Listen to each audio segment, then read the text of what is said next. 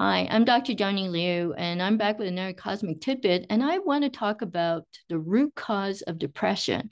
And it's really got to come down to the three basic cosmic principles that I discussed way back in the beginning. So you got to go back to those videos way back at the beginning and you got to review them. So they include equality of all aspects in the invisible and visible world okay? Um, uniqueness, because everything on earth is unique. Every individual is unique.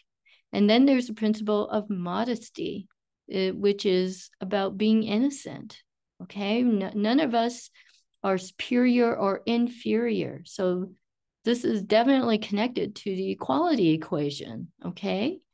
But we live in societies that have been taken over by the collective ego for thousands of years already. And it's about all this programming that says you cannot be yourself. Let that sink in. They're always coming up with rules, you know, telling you that you can't be who you are.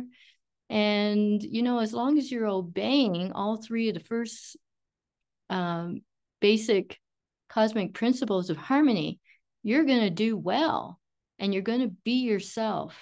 So you've got to be able to remember all these principles when somebody's telling you that, you know, you can't do or you can't think or you can't say or you can't feel what you do think, feel, you know, because it's not true. It's going to be difficult. But the thing is, people are depressed because they feel helpless and eventually hopeless. And it may even get to the point of being suicidal. And it's because they haven't been allowed to be themselves. So, this is such an important point that I want to get across to you.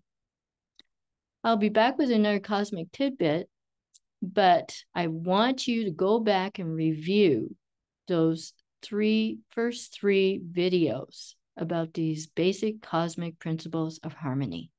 Talk to you again soon. Bye.